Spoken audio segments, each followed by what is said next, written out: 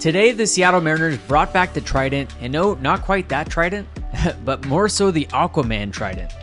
This is their new home run Trident. Today against the Brewers, bottom of the third inning, Julio hit a screamer into the visitors' bullpen. The! And the Mariners were able to break out the home run Trident for the first time. The first to carry the flame for the Mariners is Julio. And pretty fitting that Julio's the first to be able to rock the Trident. 110 exit velo the last couple of nights. Strike a pose, Julio. And here's my favorite photo as you can see Castillo's massive lipper.